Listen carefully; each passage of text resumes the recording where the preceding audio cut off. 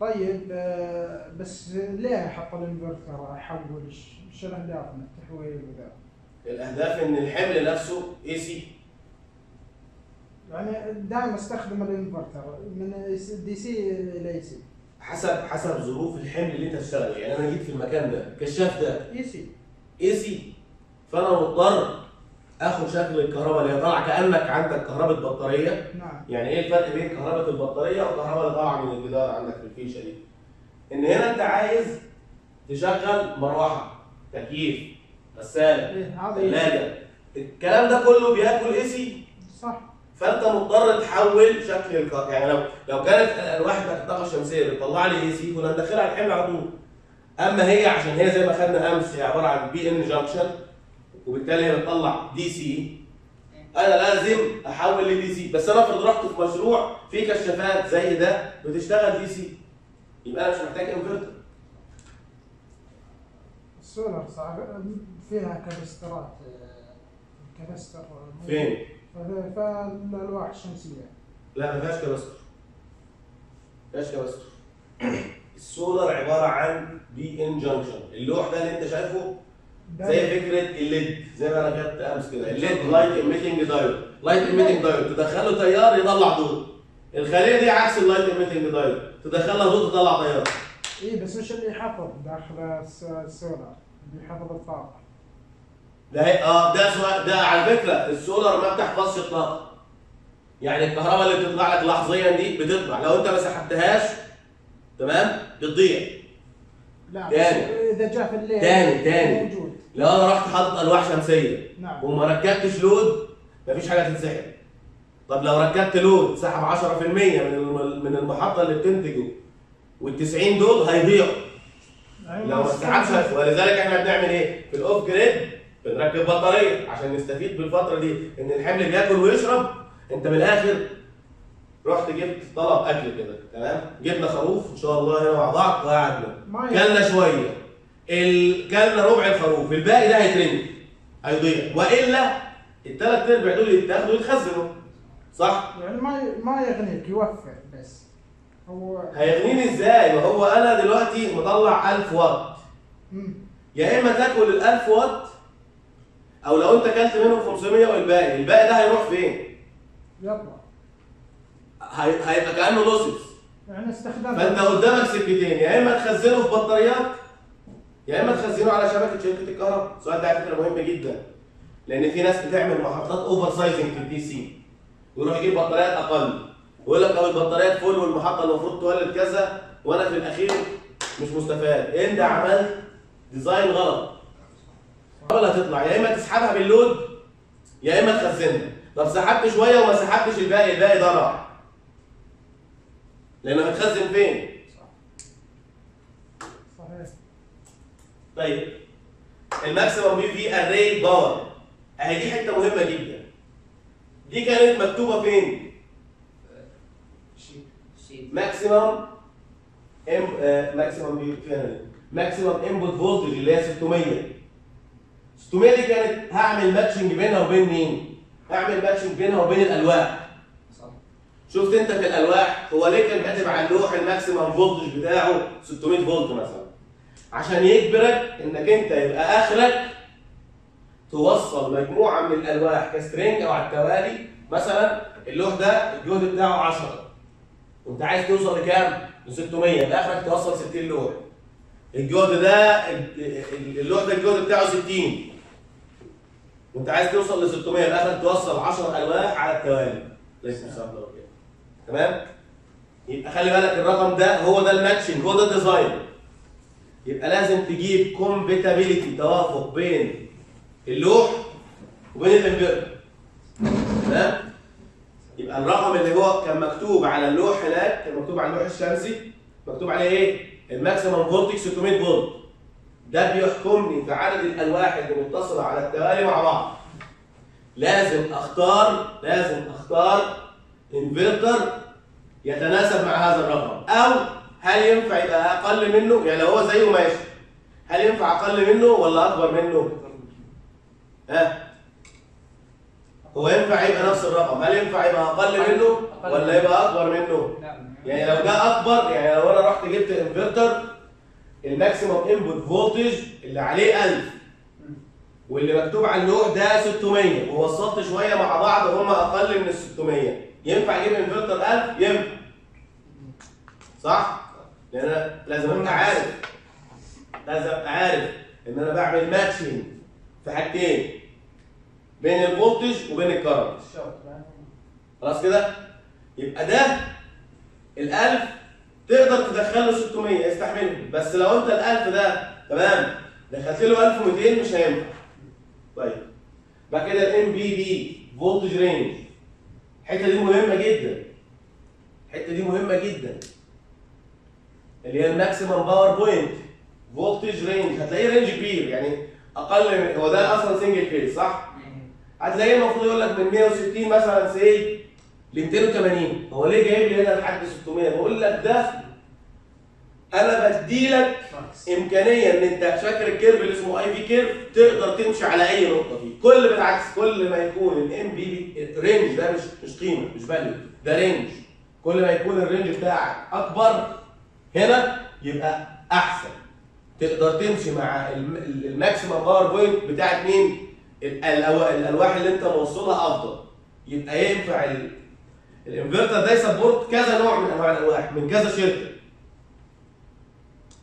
طيب ال rated input voltage طيب هو ال range بتاعه من 160 لحد 500 بس ال MPP voltage range اللي هو المفروض المتوسط بتاعي هنا هيبقى كام؟ 360 ده مش الجهد اللي هو بتاع مين؟ ال single phase اللي هو 220 هذا ال rate ده ال rate بتاع ال DC لأن أنت أنت نايم أصلا. إحنا خلي بالك إحنا في ال DC ده الجهد المتوسط اللي ممكن يدخل لي من ال charger بتاع البطاريات أو من الألواح الشمسية في ال range ده. بس عالي. تمام. جهد عالي. ما أنت هتوصل بقى ممكن توصل ثلاث أربع بطاريات مع التوازي ولا؟ بعدين طيب ال minimum input voltage أقل جهد. هو أنت بتقول لي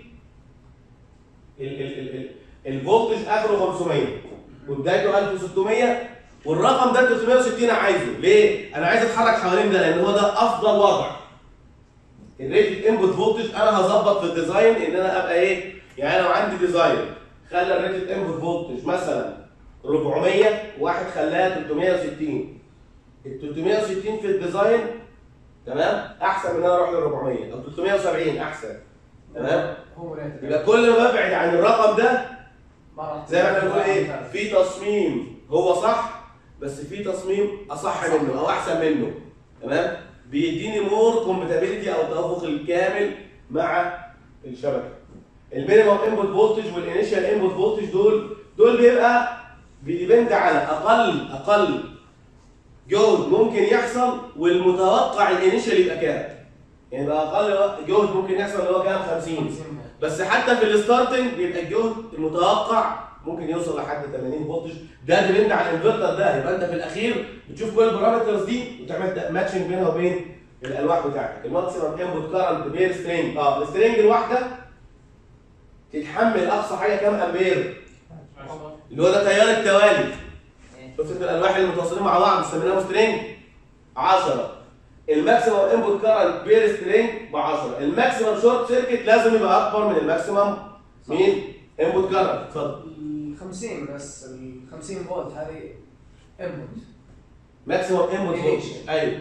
وش الفرق بينه وبين ال- ال 60 فولت آه، اللي هي ده ال range بص إحنا. بنقول لك إيه؟ بنقول لك إيه؟ ببساطة كده. آخرك الجدار ده والجدار ده. تمام. اللي هو كام؟ 160 و500 500 هذا الكبير انت ممكن تيجي تقعد هنا ببساطة. قعدت هنا. انت كده مشكلتك مش شايف السبورة كويس. انت حليت المشكلة بان انت قاعد في النص. لما انت جيت قعدت عند أفضل قيمة وده اللي إحنا بنسميه في الهندسة ال optimization يعني في حل وحل أفضل منه وحل ثالث أفضل من الاثنين اللي فاتوا. كل ما انت توصل بال solution وده اللي بنعمله بال iterations والكلام بتاع ده. كل ما توصل بال solutions إن انت تبقى أقرب لل ideal ده أفضل.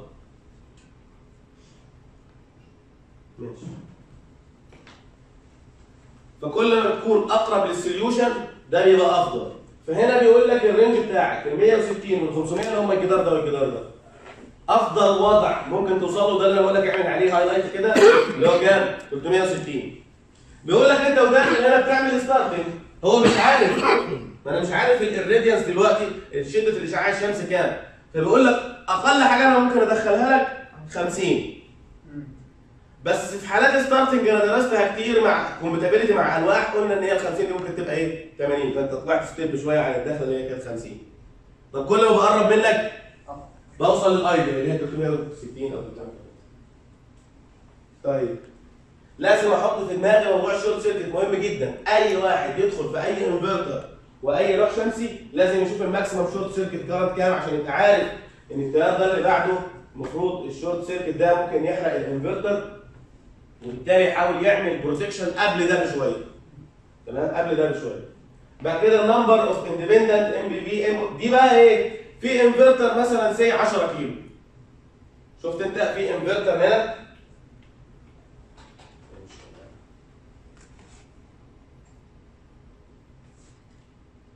شفت هنا؟ انفرتر دخله دخل. أنا بدل ما أطلع الخارج بخارج واحد بس كابل واحد طالع تمام؟ هو اللي هيدي ال loads. في ناس تعملهم حتتين. في ناس تعملهم أربع أجزاء. يعني ممكن ال 10 كيلو يبقى مثلا يعملوا لك إيه؟ 2 ونص 2 ونص 2 ونص 2 ونص. أربع حتت. وتجمعهم يبقى في الآخر 10 ده بيأثر عليه. حتى أنا اشتغلت فترة في صيانة ال inverters دي لأن كانت صيانتها مربحة في الأول. ما كانش حد فاهم حاجة. وما زال يعني أنت بتكسب منها حلو يعني. بس إيه لما تيجي تدخل هنا ممكن تلاقي الإنفرتر ده two string يعني إيه two string هو عبارة من الداخل ك electronics هنا محول هنا يعني هي دايرة كهربية هنا typical هنا. يعني بدل ما يطلع لك ال 20 كيلو مرة واحدة بدايرة واحدة بيجيب دايرة 10 ودايرة 10 ويطلع لك two output ولذلك إحنا لما نيجي ناخد ال design في انفرتر ليه مكانين تاخد منهم خارج؟ يبقى ده two string في واحد تاني ليه مكان واحد تاخد منه خارج؟ يبقى ده one string هو عبارة عن دايرة إلكترونية واحدة جوه بتطلع 10 في واحد تاني عشان يوصل إن هو يطلع 10 مش هيطلعهم مرة، يطلعهم خمسة وخمسة. آمين؟ فهنا في inverters بعض ال inverters هتلاقي مكتوب عليها إيه؟ ال maximum of independent MPP inputs اللي هي وال string per MPP input واحد لواحد هنا الداخل واحد والخارج واحد. في حالة ال three phase لو أنت بصيت.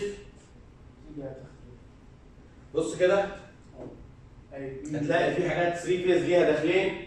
تمام؟ اهي. ليها ال number of independent MPP inputs 2 ممكن تلاقي ال output 2 أو 3 أو حسب بقى إيه التصميم بتاع الشركة ده كله كان فين؟ في ناحية ال DC تعال ننقل تحت يبقى أنت لما تيجي تبص على ال data sheet بتاعت الانفرتر فيها ناحيتين. ناحية ال DC وناحية ال AC هنا كان فوق maximum PV array power ولذلك كان 3000 وات peak أقصى قدرة يمكن أن تدخل ال inverter DC أما هنا لازم ابقى مطلع لك ال- الإنفرتر ده طلع كام بالظبط؟ أو in range يعني. فبيبقى rated power تمام؟ بيطلع 1500 واط. ولذلك كان اسمه اسمه بناء على على الخارج. الخارج بتاعه اللي هو ال Sunny Boy واحد ونص يعني واحد ونص كيلو. ال maximum apparent AC power 1500 لأن إحنا قلنا أصلا ال apparent power هي هي ال S ال S قصدي هي هي ال active power. مفيش power factor هنا. طيب. لأن التحويل من AC DC إحنا مفيش عملية transfer حصلت من شكل كهرباء لشكل تاني. تمام؟ ال nominal AC voltage ده الجهد بقى إيه؟ اللي هيطلع على الأطراف بتاعت الخارج. إحنا قلنا ده single إيه single phase inverter تروح تلاقي الرقم ده 22 أو القريبين منه اللي هم ال standard 22 230 240 ال nominal AC voltage نفس القصة حاطط لك range اهو ده بقى إيه ال range اللي انت بتحكي فيه اللي انت عايزه اللي هو حوالين ال 220 بنسبة مثلا 10% زيادة أو 10% نقص حسب ال accepted حسب شركه الكهرباء أو حسب الكود كمان.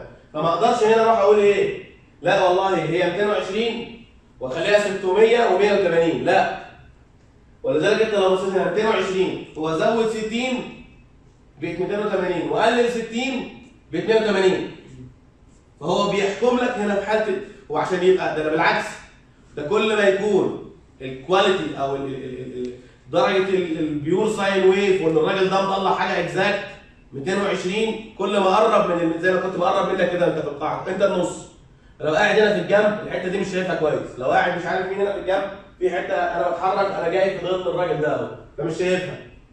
أما اللي قاعد في النص ده ده هو ال optimal solution فأنت كل ما تقرب من ال 220 يبقى أفضل. فهنا ال range في حالة ال AC ضيق. أما في حالة ال DC لأن هو مش ضامن ال radiance فكل ما يدي لك range كبير يبقى أفضل. حاجة مهمة جدا. إحنا هناك ما كناش بنتكلم عن هرتز خالص. ولذلك أنا قلت لك هو الراجل بياخد ال DC signal ببساطة الانفرتر وادخل في ال electronics بتاعت التقطيع الشبه transformer وال MOSFET وال MOSFET آه، ترانزستور وال IGBT والكلام ده. الكلام ده هيفيدك جدا لو أنت دخلت في ال inverters من الداخل. هنا بقى بدأ يقول لك والله الانفرتر ده فيه ميزة إن هو بيشتغل على 50 و 60 هرتز يعني والله الانفرتر ده شغال في السعودية شغال شغلته في مصر شغال شغلته في أي حتة هم مفيش غيرهم ترددين في العالم كله اللي إحنا شغالين بيهم كل شركات الكهرباء على مستوى العالم اشتغلت بترددين. يا 50 يا 60